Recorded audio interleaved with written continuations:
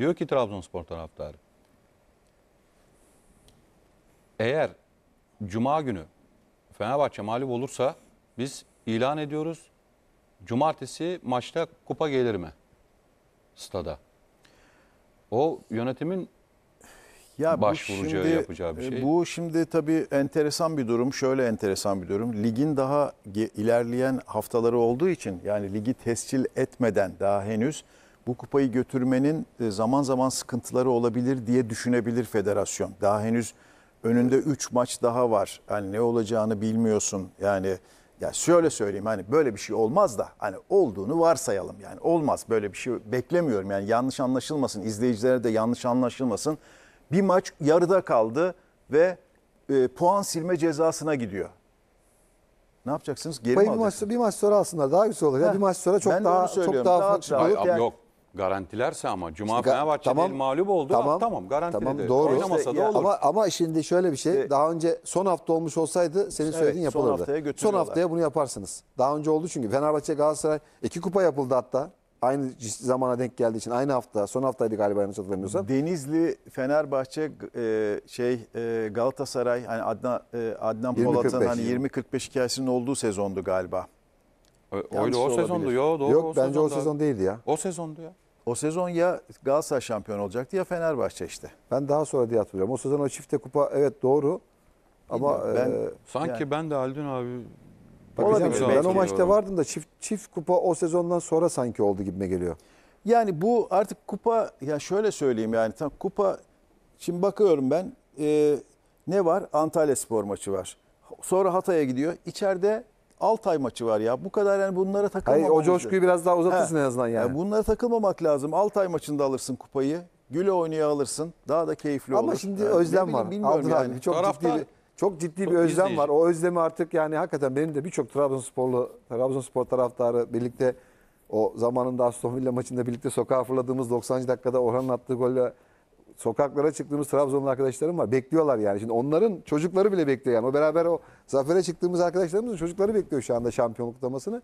Dolayısıyla bir an önce Ve o yani kupayı feder- görmek istiyor. Yani şampiyonluk matematiksel olarak garantilese bile o kupanın kaldırıldığını, şehirde Trabzonspor takımıyla beraber tur atmayı e, tabii ki istiyorlar. Yani o kupayı görmeyi bir an önce istiyorlar. Şeyi de hazır. Zaten gün boyu maçın özeti girdi de maç sonu röportajları girelim. Hocaların açıklamalarını da tart konuşuruz sevgili Özgür. Sen onu hazırlarken ben de Haldun abiye söylüyorum. Yani çok farklı. Mesela deseler ki sana bir hikaye yazsan bize.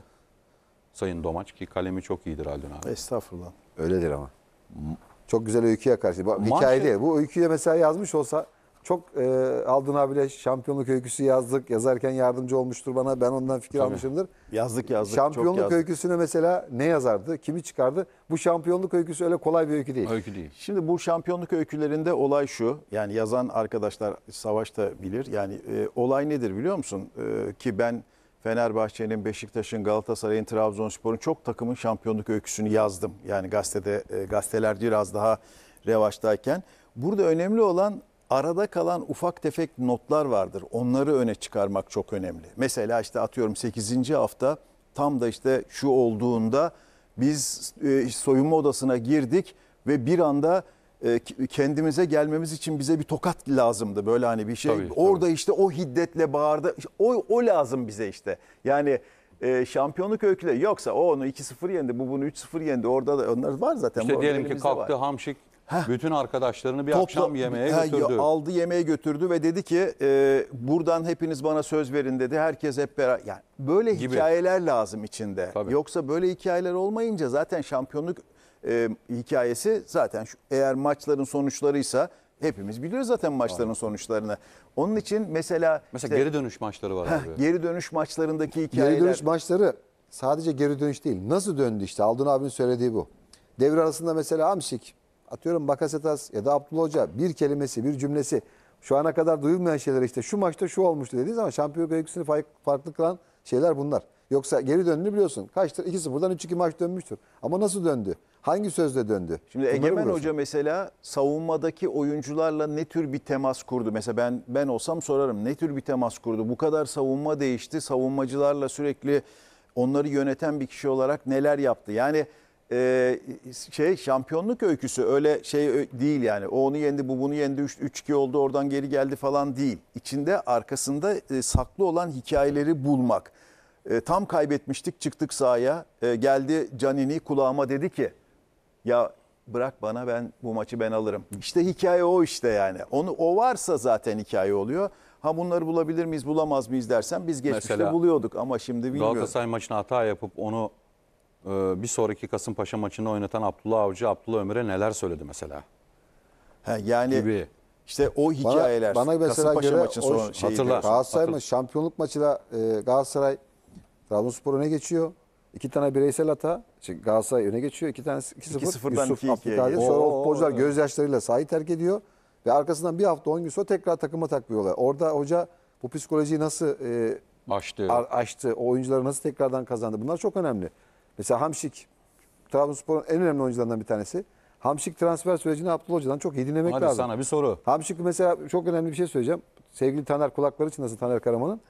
Hamşik'in mesela Abdullah Hoca'nın evinde forması varmış. Hangi forması? Ta ki milli takımda oynadığı zaman genç milli takımdan Şimdi- mesela. O zamandan tanıdığı bir oyuncuymuş mesela. Yani. Sana bir soru Aldın abi en son soracağım onu. Bu, basın toplantıları hazır bu arada.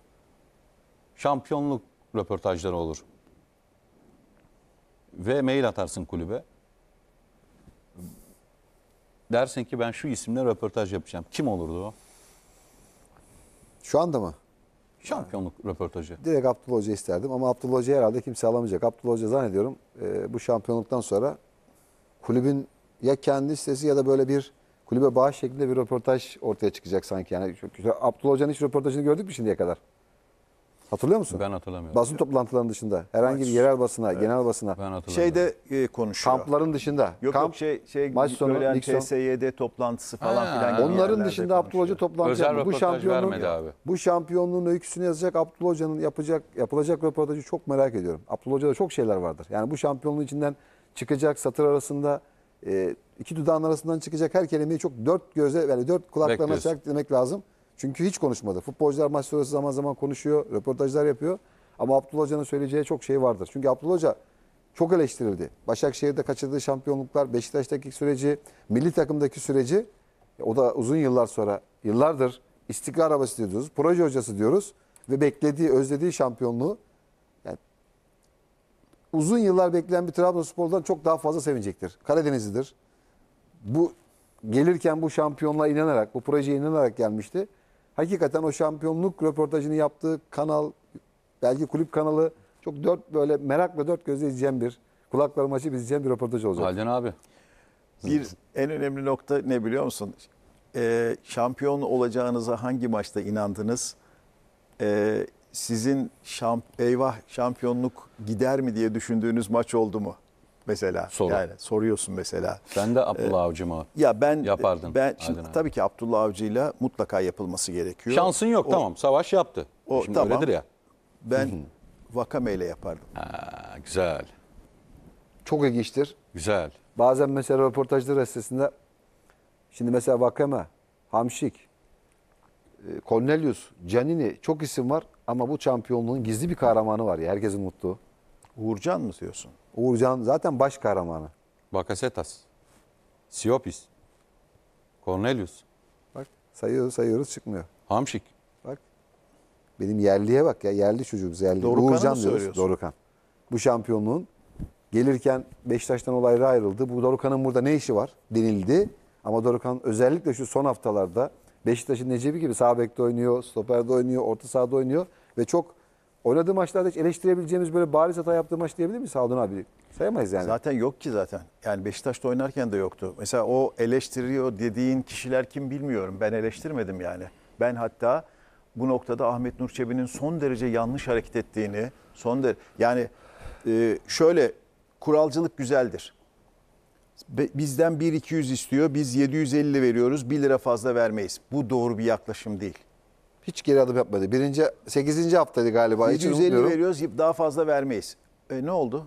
Vermedin. Yerine o aldığın oyuncu Orada iki tarafı da çok büyük takdir ettim Aldın abi. Lafını kestim ama mesela Sayın Ahmet Nurçebi evet dik durdu. Dedi Evet. ki ben işte 750-800. Dorukan da ya ben dışlandım. Başkan benimle sözleşme imzalamıyor. Ben artık keyfime bakayım demedi. Son haftaya kadar profesyonelce mücadele etti. aldığı her görevi de yerine getirdi. Bak bu çok önemli bir şey. Bazı futbolcular vardır sezon sonunda gidiyorum der. Son 7-8 hafta kala bırakır ama hiç e, o forma e, mücadelesini bırakmadı. Görevini de çok iyi yaptı. Trabzonspor'a da çok hazır olarak geldi. Peki.